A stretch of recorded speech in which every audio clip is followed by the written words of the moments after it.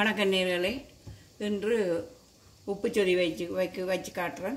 இது எங்கள் அம்மம்மா திராவிட அன்றைக்கு வச்சு சாப்பிட்ற விடுறது அங்கே கொஞ்சம் எண்ணெயை மட்டும் தாளிக்காயினா நான் இப்போ கொஞ்சம் எண்ணெயை விடுறேன்.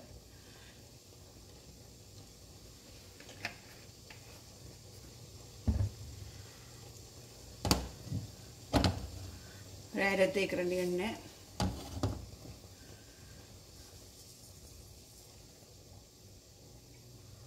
சொதிக்கிறதுக்கு ஒரு அரைக்கரண்டியை அரை கரண்டியை அரை தேய்க்கரண்டியை விட குறைஞ்ச அளவு கடுகு. அதே போல் அதே அளவான பெருஞ்சீரகம்.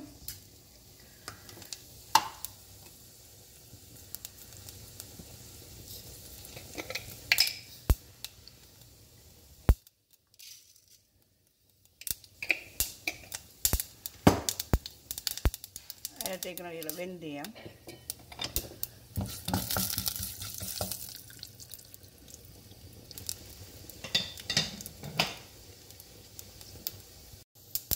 சொதுக்கி தேவையான பச்சை மிளகா.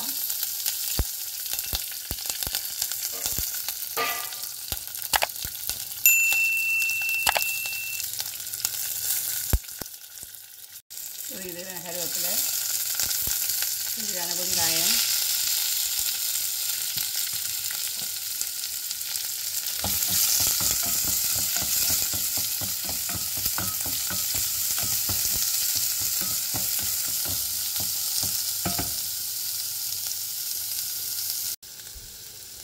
இப்போ கண்ணாடி பழம் வெங்காயம் வந்துட்டுது இந்த தருணத்தில் கொஞ்சம் தக்காளி பழம்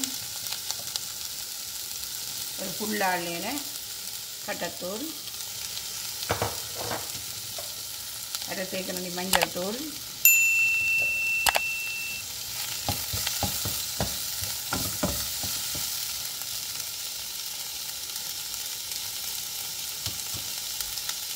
இந்த கொதிக்கு தேவையான அளவு உப்பு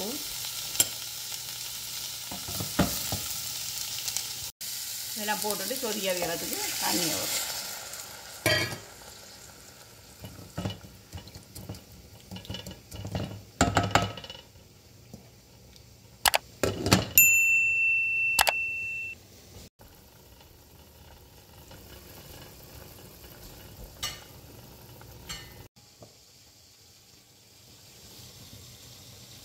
இப்போ இந்த சொதிக்கு தேவையான களைப்பொடி போடுறோம்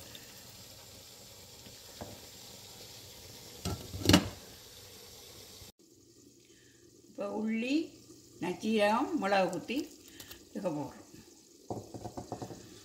அதே நேரம் இந்த உப்பு சொதுக்கு தேவையான அளவு மீன் போடுறோம். நல்லா கொதிக்கட்டும் மூடி விடுவோம் கொதிக்கட்டும்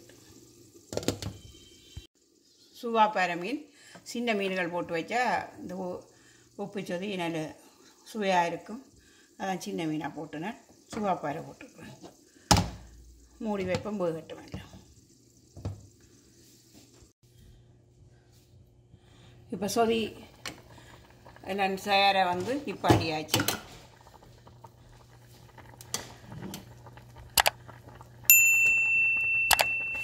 அடுப்பு பண்ணுறேன்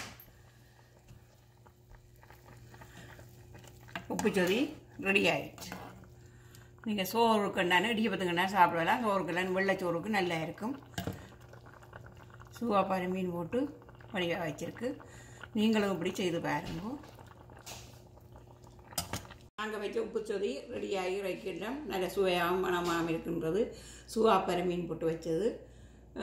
நீங்களும் இப்படி செய்து பார்த்து சோறோடு என்னென்ன இடியப்பத்துடன் சாப்பிட்டு பாருங்கள் நன்றாக இருக்கும் பழைய அது எங்கள் அம்மம்மாவே இதை வச்சு சாப்பிட்றத கண்டிருக்கோம். இப்போ அதை செய்து பார்த்துறேன். நீங்களும் செய்து பார்த்து உங்களுடைய அபிப்பிராயங்களை கொமெண்டில் தெரிவிங்க. லைக் பண்ணுங்க. நன்றி.